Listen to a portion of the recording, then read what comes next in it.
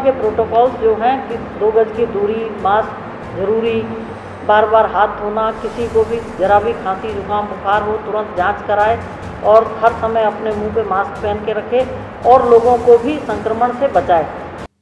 क्या आपको पता है कि सीतापुर में कोरोना मरीजों को भर्ती कराने वाले अस्पतालों में जितने बेड हैं, कोरोना की दूसरी लहर में उससे कहीं अधिक मरीज़ आ चुके हैं। स्वास्थ्य विभाग आंकड़ों की माने तो अभी 40 मरीज़ हर रोज मिल रहे हैं। कल तक एक्टिव केसों की संख्या 205 तक पहुँच गई है। मरीजों की बढ़ती संख्या को लेकर स्वास्थ्य विभाग सजग हो गया है। खैराबाद के अलावा सीतापुर ज़िले में दो और एल अस्पताल बनाने की कार्रवाई पूरी कर ली गई है। यहाँ पचास पचास बेड की क्षमता वाले बेड होंगे। कोरोना मरीजों को लेकर जिलाधिकारी विशाल भारद्वाज हर रोज बैठक समीक्षा कर रहे हैं। साथ ही एल अस्पतालों का मुआयना भी किया जा रहा है। स्वास्थ्य महकमे ने क्या कुछ तैयारियाँ की हैं? कोविड जाँच के लिए कहाँ कितने सेंटर बनाए गए हैं? बढ़ते मरीजों के लिए कहाँ कहाँ भर्ती करने के इंतज़ाम किए गए हैं? सीतापुर में टीकाकरण के लिए कितने सेंटर हैं? और 50 लाख से भी अधिक आबादी वाले सीतापुर ज़िले में कितनों का टीकाकरण प्रतिदिन हो रहा है? वेंटिलेटर की क्या व्यवस्था है? क्योंकि कोरोना की दूसरी लहर में अब तक तीन लोगों की मौत भी हो चुकी है। इन तमाम सवालों के जवाब आई इंडिया ने सीतापुर की मुख्य चिकित्सा अधिकारी डॉक्टर मधु गैरोला से जाने। आप भी सुनिए सीएमओ ने सीतापुर वासियों से क्या अपील की है। कोविड की सेकेंड वेव हम सभी लोग इस समय फेस कर रहे हैं। बहुत तेज़ी से बढ़ रहे हैं केस नंबर ऑफ़ केसेस प्रतिदिन इस समय हम 40 से ज़्यादा केस सीतापुर में देख रहे हैं। अभी हम लोगों का L1 L2 खैराबाद चालू है। मेडिकल कॉलेज हिंद और ज़िला अस्पताल को L2 बनाने के लिए लेटर जारी हो गया है। एक से दो दिन के अंदर हमको ये भी मिल जाएगा।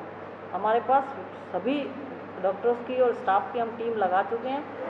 टेस्टिंग की पूरी फैसिलिटी है, ट्रीटमेंट की पूरी फैसिलिटी है। 25 हमारे पास वेंटिलेटर्स हैं और ज़रूरत पड़ने पर किसी भी चीज़ की कमी नहीं होगी। बाकी पेशेंट्स जो हैं हमारे वो ज़्यादातर जो तीन डेथ हुई हैं इस बीच में, दो सौ पचासी पॉजिटिव मरीज़ आए हैं, उनमें से तीन की डेथ हुई है और तीनों डेथ लखनऊ मेडिकल कॉलेज में हुई हैं।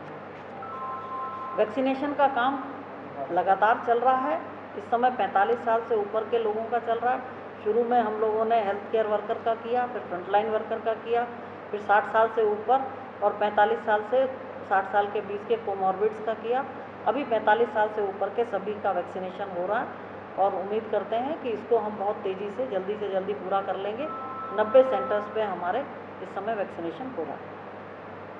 कोरोना पर क्या अपील करना चाहेंगे जनमानस कि वो कोरोना के प्रोटोकॉल्स जो हैं कि दो गज की दूरी मास्क ज़रूरी बार बार हाथ धोना किसी को भी जरा भी खांसी जुकाम बुखार हो तुरंत जाँच कराए और हर समय अपने मुँह पे मास्क पहन के रखे और लोगों को भी संक्रमण से बचाए उनसे दूरी बना कर रखे।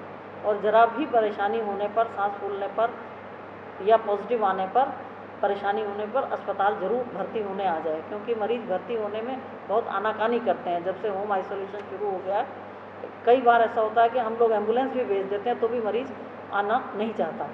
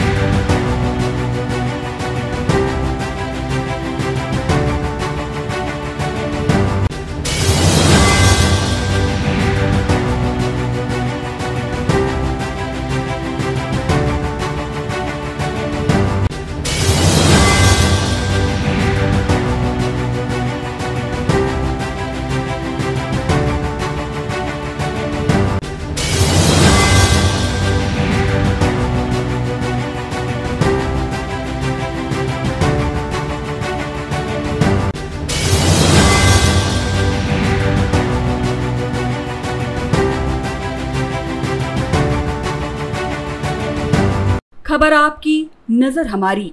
देखते रहिए आई इंडिया।